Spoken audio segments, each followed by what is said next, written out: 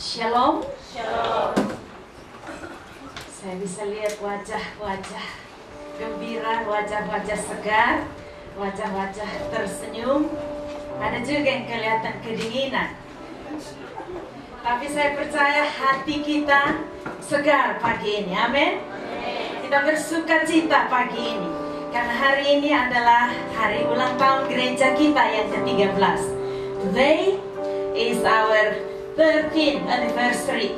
And I believe that all of us come to this church with happiness. And I could see happy faces in this church this morning.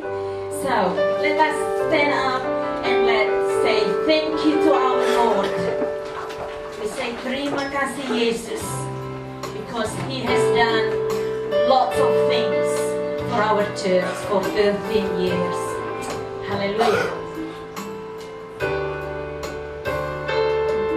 Terima kasih Yesus untuk kasih setiamu yang kuat.